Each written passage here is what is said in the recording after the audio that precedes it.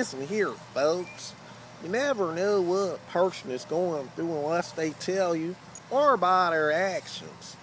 And according to Elliot Rodgers' Retribution, this video that's circling around, there's a lot of things bothering this young man, and I hate to see someone do some things like this. Now in life, we all gonna have some ups and downs. It's not gonna be all peachy and rosy, but you know, we gotta deal with life. You're feeling a certain way, not feeling your best, feeling a little down, find someone to talk to. Find someone to express your feelings about.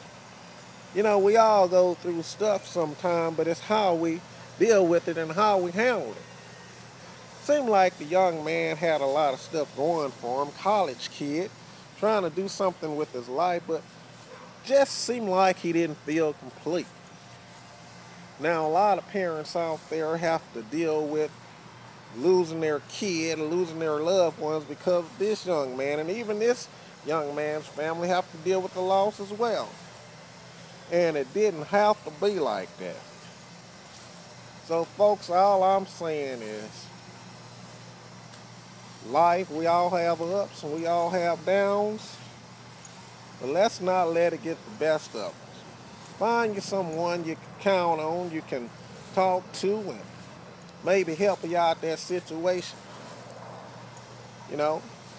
Because we can all get through it. And I just hate to see something like this happen. Hopefully, we won't have anything like this to happen again. Leave your thoughts and comments in the comment section below. It's your boy, Big Lex. I'm out. Peace.